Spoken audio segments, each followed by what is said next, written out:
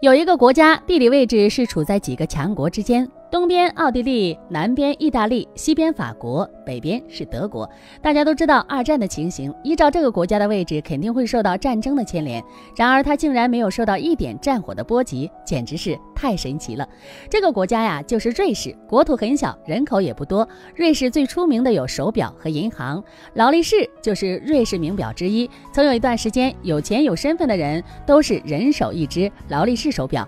瑞士的银行被称为全世界最安。全的银行是各个国家上流人士的首选，他们把钱存在瑞士的银行就能安心。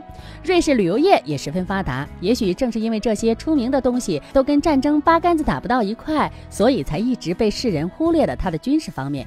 但其实啊，没有一个国家愿意招惹瑞士。虽然瑞士国家的历史并不久远，但自从独立以来就宣布是永久中立国，两次世界大战都没有直接参加。也许是因为瑞士一直保持中立，也并不好战，许多人都以为瑞士没有军队，但事实恰恰相反。瑞士是一个全民皆兵的国家，男女都会接受强制性的军事训练，必要的时候，全国上下都是作战人员。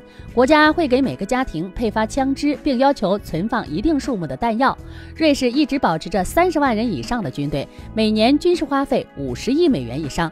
这样看来，瑞士的军事水平在全世界也算是很高的，并且瑞士地理环境优越，易守难攻，想要打赢它十分困难。